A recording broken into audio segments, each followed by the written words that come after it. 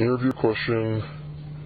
Um, record on April 25th, I'm sorry, April 26th, 2021, um, on AAPI project, um, with interview number one. Alright, um, thank you for agreeing to this interview with me. Is it okay if we hit record? Yes. Okay. So, if I may ask, who are you? I'm a Chinese American tutor. And, uh, in, in regards to that tutoring, uh, what do you tutor precisely? Uh, math and science, or whatever I can get my hands on. Okay. And then, uh, where are you from? I'm from Reno. Uh, Reno, Nevada, right? Yeah. Right? Uh, born and raised? Yes. Right? And where are you living today? Uh, here, Reno, Nevada. Uh, have you lived anywhere else? Uh, I lived in uh, New York and Seattle and San Francisco. Okay. So your experiences have mostly mainly been Reno? Um, yeah, probably 80% of my life has been spent in Reno. Okay. Do you speak any la- other languages uh, besides uh, English or, or, or, or other? Uh, no. Okay. And about your family, um, where, uh, where, where's your family from? Uh, all my grandparents are from China. Okay. And what, uh, so also your immediate family, is that, are they also located here in Reno? Uh, yeah, my parents are in Reno and my brother and sister are in Reno. Okay. Um, so quick side question, uh, family, um, how big of a family do you have? Uh, there's, uh, my, my two parents and my one brother and one sister. Cool. Uh, so this is a relatively small, re- regular sized family. Yeah, yeah. Uh, 2.6 children. 2.6. Yeah, sounds fair. So there's, a, there's pets in the house. Uh, no, no, we're, we're just statistics. Alright. Fair enough. Um, so, uh, what's your level, uh, highest level of education? Uh, master's degree? So I take you also have a bachelor's degree. Yep. Sure. Um, if you don't mind me asking, uh, what is your uh, education or background in education from? Uh, University of Nevada and Cornell University. Okay, thank you. And uh, what race uh, or ethnicity or uh, nationality do you identify yourself as? Uh, Asian? Um, now, kind of getting a little more, this may be a little personal. Uh, let me know how you feel about, you know, let me know if this is too terribly personal. Uh, you don't have to answer if you don't feel. Uh, in reference to your personal experiences here in Nevada and overall um, in your life, what is the worst experience you've had with discrimination that you believe was rooted with your ethnicity? Well, when I was in first grade, some of the other first graders, uh, started making fun of me and calling me chink and other slurs. Um, yeah, and so this was done by first graders. And so my, my question is, where did they learn these terms? I had never heard of those terms before at the time. Where, where did they hear, hear of them? I heard of them from their family members or their uh, role models. Okay. Um, now, in reference to that situation and that um, did that, I mean, did that scar you? Did that bother you? Or did it, or did it just, like, leave a lasting memory? Well, it just left a lasting memory. I didn't really care at the time because I didn't know that um, those those terms were meant in a derogatory way because I didn't know what those terms mean because I had never heard those terms before. And looking back at it, I assumed that uh, the the other kids didn't really understand what they were saying or the you know socio-political context of what they were saying. Um, but but now that I look back at it, it is interesting that that they even knew to say that. You know, to say that like like where where did they get these words? And the only reason why I knew that it was a problem was because the teacher chastised them for uh, saying these things, and, and and I was like, well, what's the big deal? I don't I don't understand why they can't call me these things. Um, teacher was upset, and so I slowly, eventually learned uh, that that was something that I probably should be upset by. So, by proxy, you learned, like, this is a standard you can't let or permit to be, you know, said to you or, or, or accepted. Uh, yeah, something like that. I guess uh, we're just um, generally supposed to be upset by racial slurs. I guess. So, you know, I, I kind of want to develop this a little further. Going on in life, you know, as an adult, you know, as a, as a younger man, as an adult, um, and whatnot, uh, to present day, you know, has have you had that kind of encounter in those stages in your life, or or whatnot? Uh, no. The more, I mean, the older I, the older I got, the the less I uh, experienced um, perceived to be um, racism. That doesn't mean that it's not happening, um, but uh, I eventually grew to um, either not see it or maybe adults just keep it inside if they are racist. So when you mean uh, not see it, like uh, do you do you kind of accept or under you know accept that you may miss or not be aware that it happens or it's happening to you at times? Uh, well, I think I think I just have um, a lot of other things to think about, and uh, Sure. maybe I uh, just don't tend to. Um, maybe, maybe I tend to just see, try to see the bright side, I guess. Okay. Um, but obviously, beauty is in the eye of the beholder, and uh, perception is just uh, you know the world is what we make of it, I guess. That's fair. That, that helps you understand that question a little better, so thank you for that. Um, and that kind of leads me to the next uh, question, kind of in, you know, perception of, of, of the issue today, because it's the issue of the day, or you say issue du jour, in reference to, um, you know, the, a lot of things that are going on in the country and in society. Do you think that there's a problem today with hate, and is it growing, and it's growing and centering attention to Asian Americans today? Uh, I think racism is a complex issue. It's not black and white, you know, good guys and bad guys.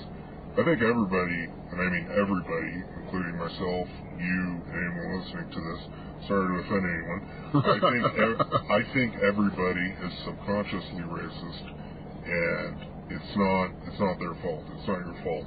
I just think everybody's subconsciously racist. Uh, obviously, the China virus thing doesn't help. That's fair. So, um, you know?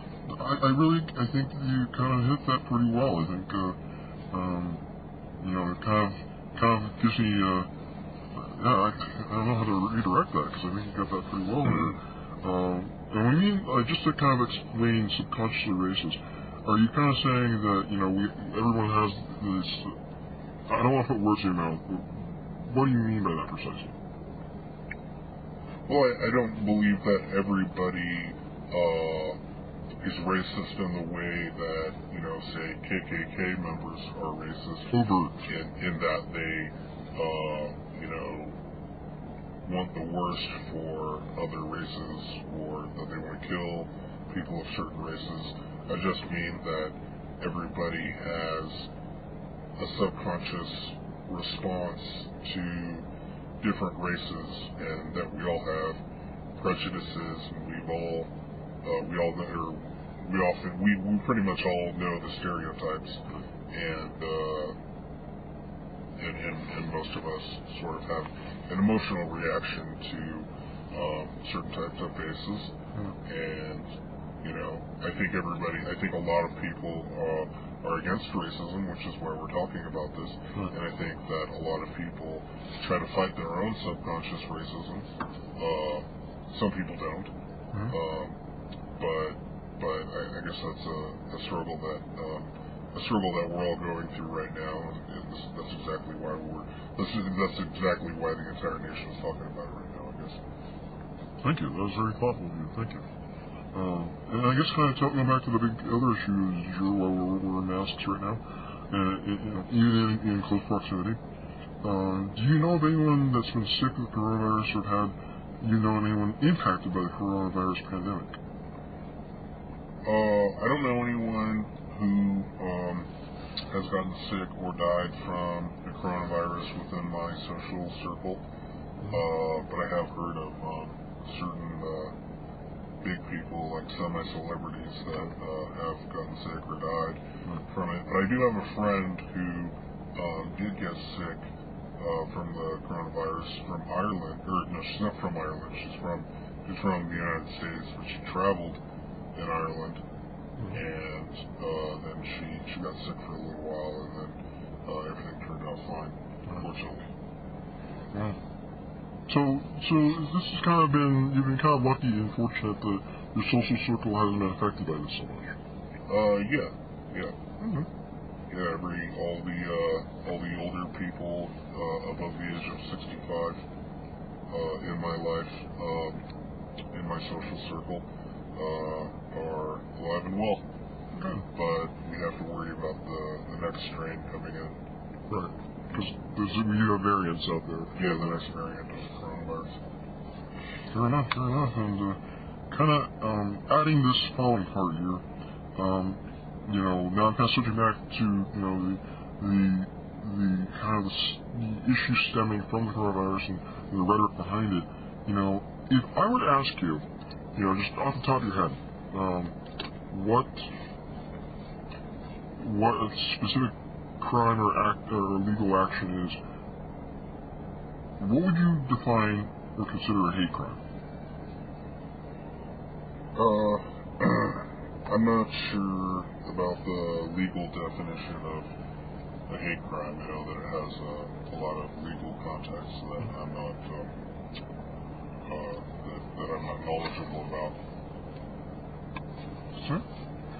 Um, now, what should now if you were given the chance to write the legislation or a policy prescription for a hate crime or racism or anything to, specifically towards the Asian American community, um, what would you write it as, or what, what should be? Um, I guess the legal definition of a hate crime should be enough to deter people from hurting Asians solely because they're Asian. Uh, obviously, there are side effects like people getting harsher sentences because they hurt someone who happened to be Asian, even if that was not their intention or motive. Uh, but I guess I guess I guess if their motive was only to hurt someone, but not because they're Asian, but just because they wanted to hurt someone, then I guess supposedly they should get a less harsh uh, sentence. Okay. So you see the difference between, you know, intentionality and and intent, like his direct intentionality of harming someone of, of a certain class, race, class, or creed, and then just simply like, I want to cause them harm. Uh, well, I don't really know the difference or see the difference, and that was partially sarcasm on my part. I but- apologize for that. uh, I'm sorry. Sorry Uh, but I, I guess I guess I just don't know that much about the history of um, of hate crime legislation. Hmm. But I will say uh, I am happy not to be in a concentration camp. Fair. Uh, I guess there's some context behind that now, so I'll give you that. I'll you that. Um, and going back to that again concurrently, do you think that in, in America, do you think America, in America, there is an issue with hate towards Asian Asians, Asian Americans today? Um, I've heard stories of um, a lot of Asians getting harassed or uh, physically assaulted or violently assaulted um, in the United States, but I haven't experienced anything like that in uh, Reno, Nevada myself. Uh, so I'm uh, I'm fortunate to have that kind of anecdotal evidence, if anecdotal evidence is evidence at all.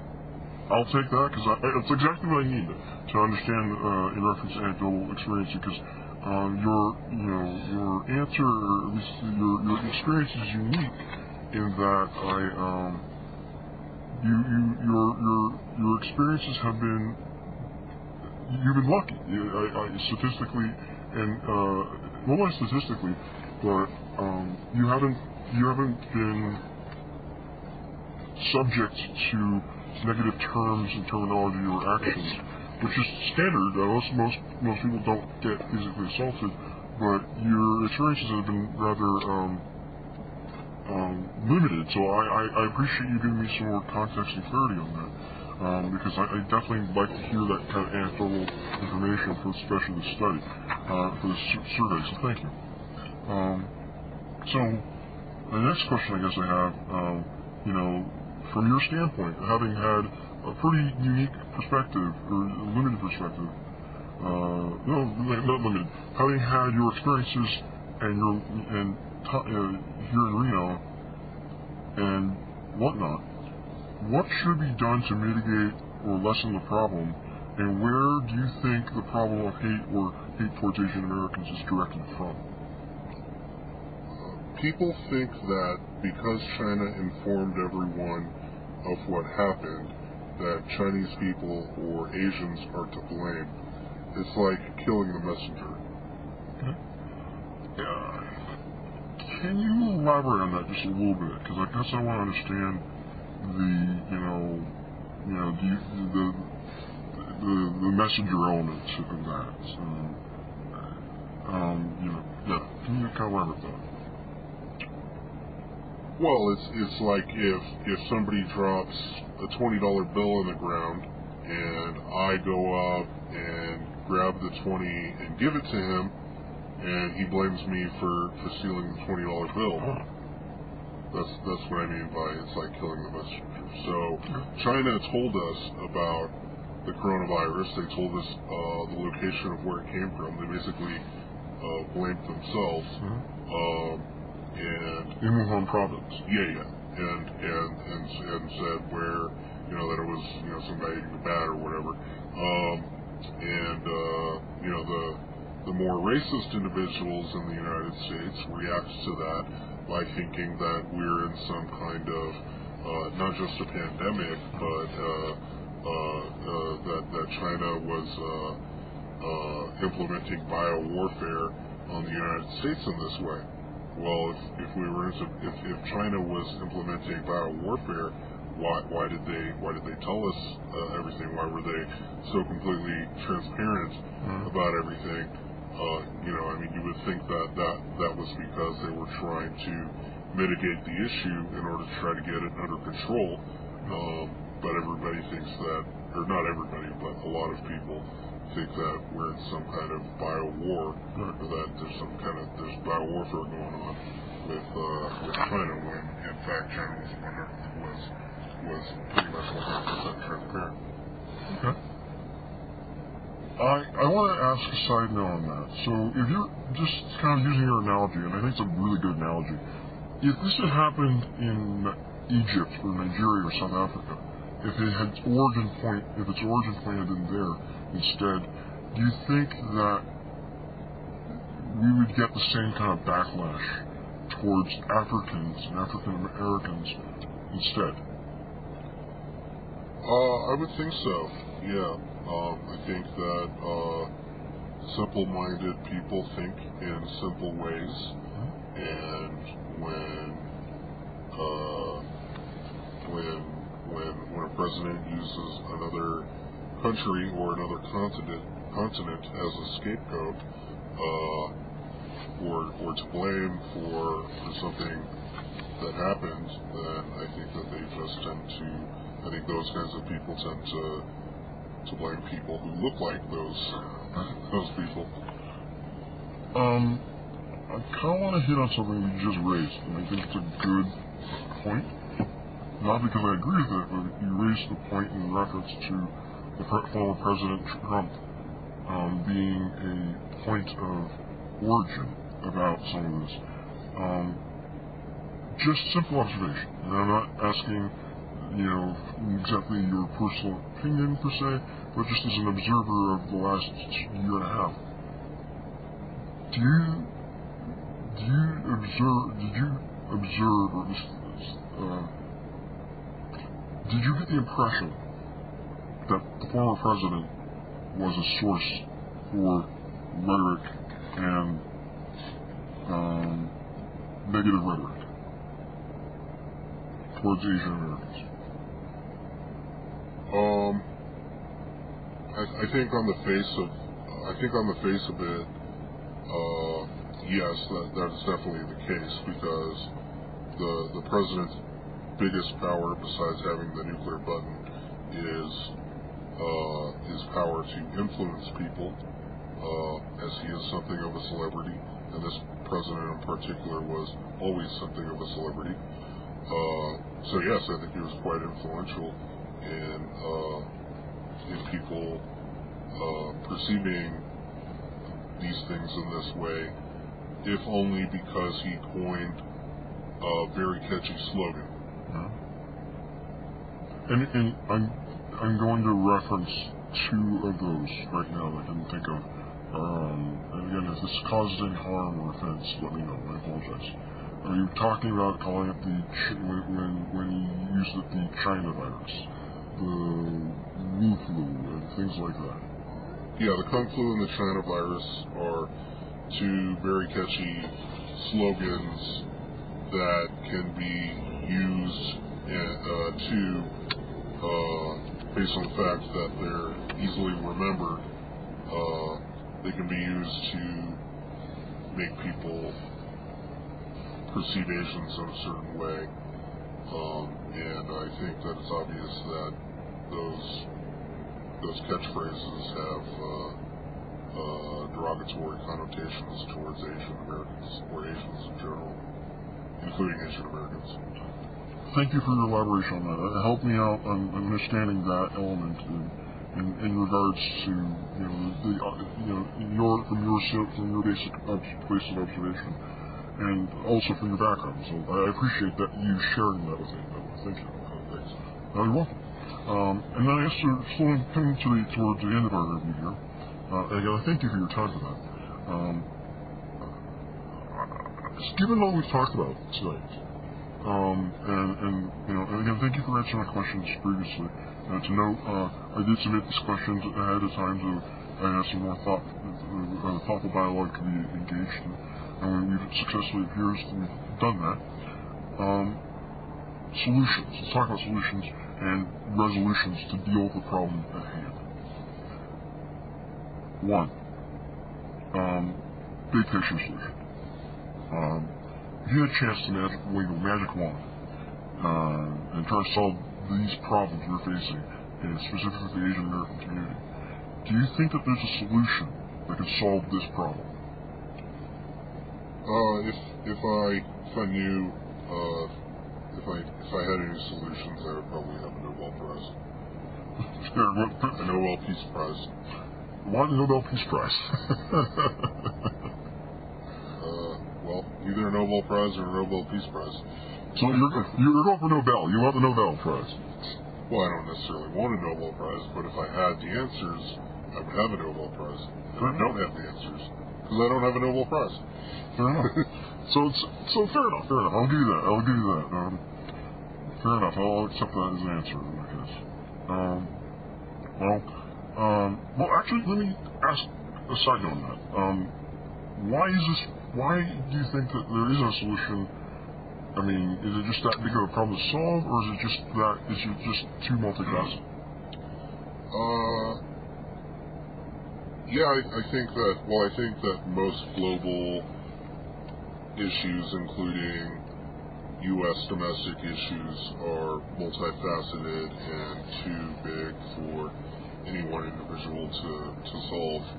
Um, uh, but that's not to say that there are no solutions. It's just to say that uh, with with my limited knowledge um, and limited amount of time to have analyzed uh, these problems for this interview, uh, I, I wouldn't have an answer for that.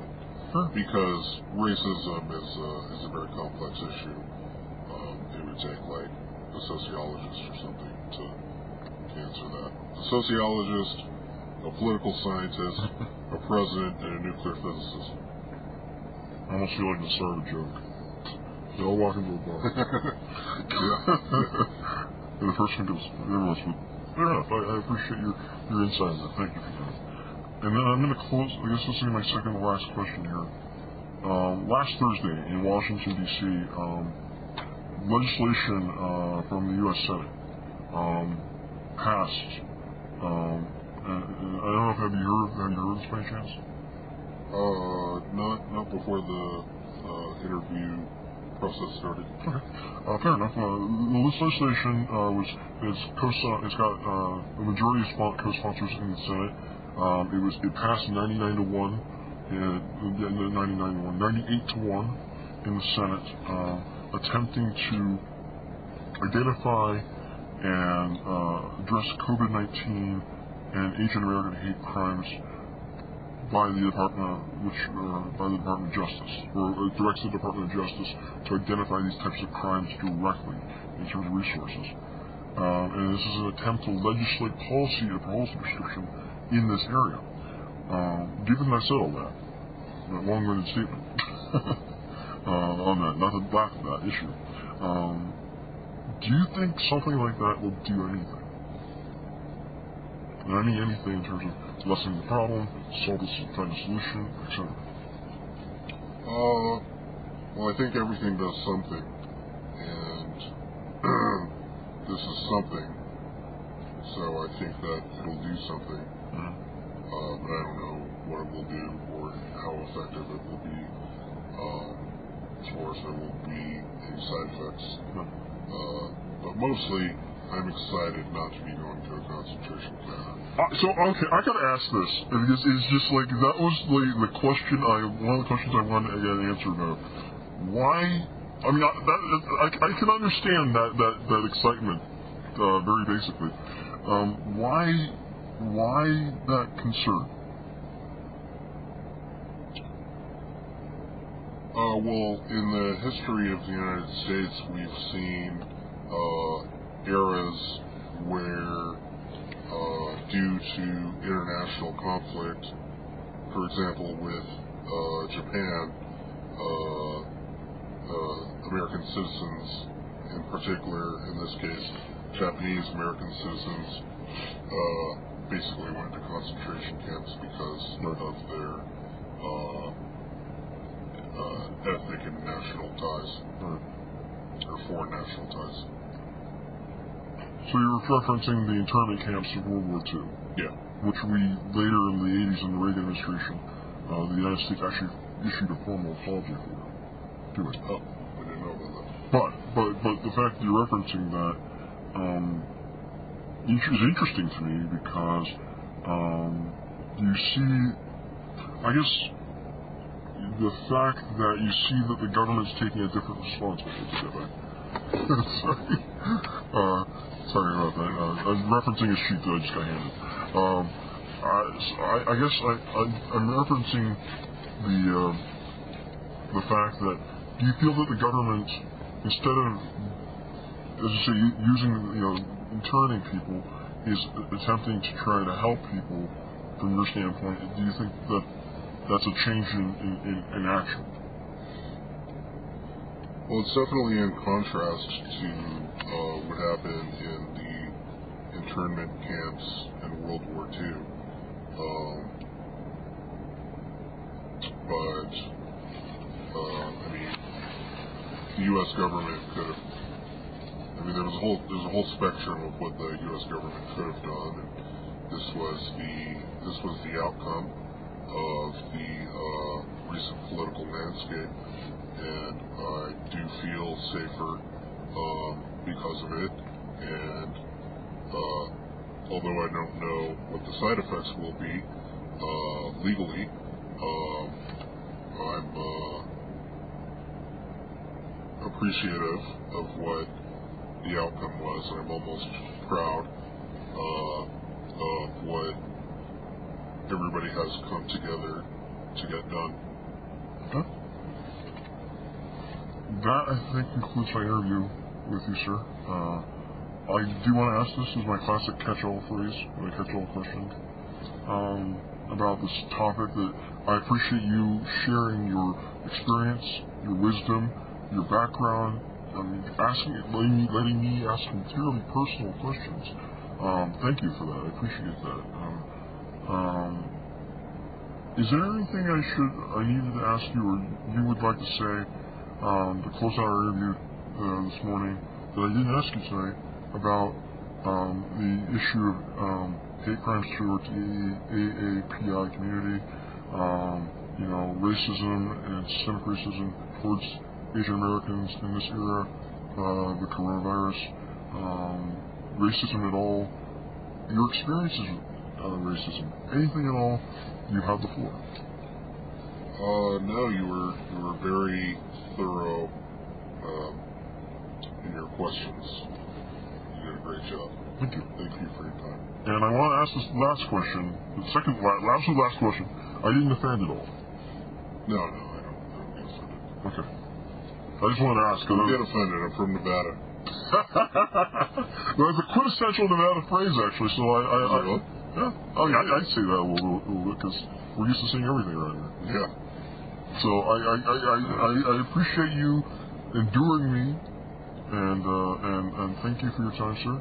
And thus concludes my interview with my interview subject on AAPI um, issues uh, and, and COVID-related concerns.